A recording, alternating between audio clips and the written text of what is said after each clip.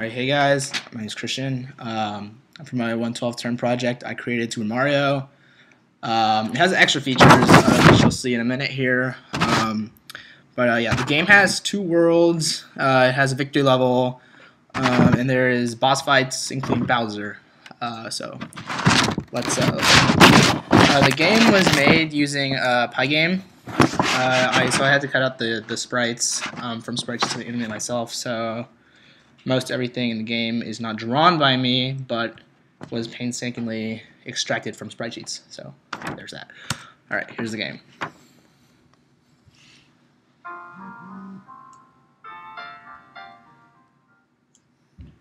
So when you load a game, there's a initial menu. There is a start game, resume game, how to play, and then the quit, which just quits the game. Uh, so let's let's figure out how to play. Um, you, you use the left and right arrow keys to move, space to jump, you have to jump on enemies, and that that's how you play Mario.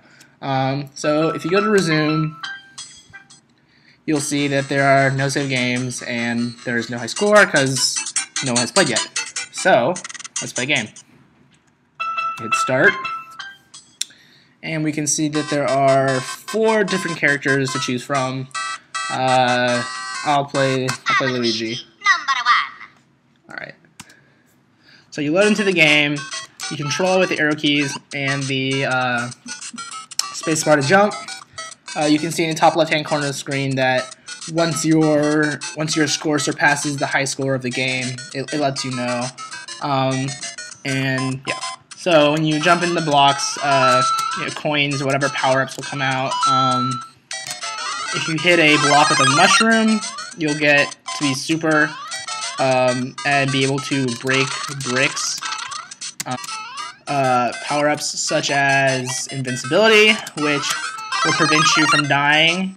Um, it'll also prevent you from falling off of the map um, by by saving you, by picking you up.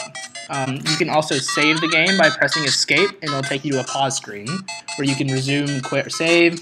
Quitting the game just takes you to the main menu. But let's save the game. So you have three save files that are available, and the game remembers which save file you save to. So let's save to the let's save to the second save file. And there, we have Luigi in level one, world one.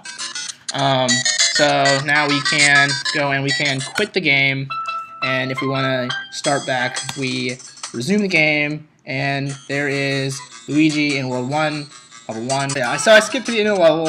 Um, as you can see, here's Bowser's castle, and then you walk up to his door, and the level's complete.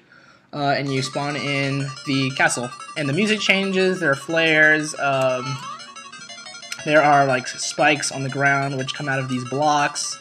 Um, and there's there's basically just like tons of stuff you can die with in uh, Bowser's Castle. Um, but you just get to him, and then he falls down, and you've won the level. So when you win the game, you are uh, given a custom screen depending on um, what character you're playing that uh, is a victory screen as well as a uh, stats page to uh, explain your score.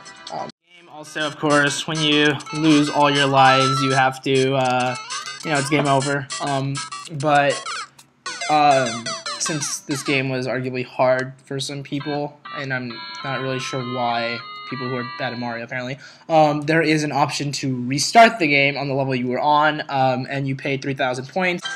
Um, now there are a few um, hidden things in the game um, which you may not otherwise know if if they're not pointed out, since uh, or or look at the code. Um, so in the how to play screen, if you look very carefully above Yoshi's head, right next to his hat, it actually says uh, to press enter uh, for an Easter egg. So I'm gonna press enter real quick.